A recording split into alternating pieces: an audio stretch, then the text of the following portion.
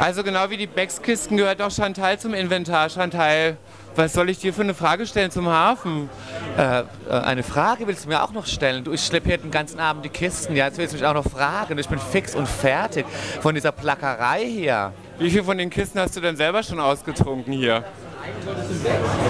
Naja, also fünfmal den Keller voll. Weiß ich nicht, schwer zu sagen. Chantal, du bist einer der treuesten Gäste hier. Was treibt dich immer wieder hierher? Du, äh, ja, erstens wohne ich ums Eck, ist natürlich immer ein großer Grund für mich, weil ich brauche ein Lokal, wo ich dann morgens nicht mehr allzu weit habe. Im Bus dann irgendwie so durch die ganze Stadt zu fahren, mache ich nicht. Also schon, äh, dass ich in der Nähe wohne.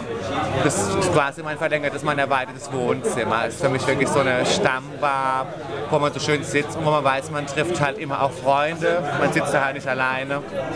In meinen zehn Jahren hat sich einiges getan. Die einen kommen, die anderen gehen, die einen suchen gerade einen Liebhaber oder einen Lover oder einen Ehemann oder whatever. Dann sind sie wieder weg ein paar Monate und schwupp stehen sie wieder vor der Tür. Ist doch so.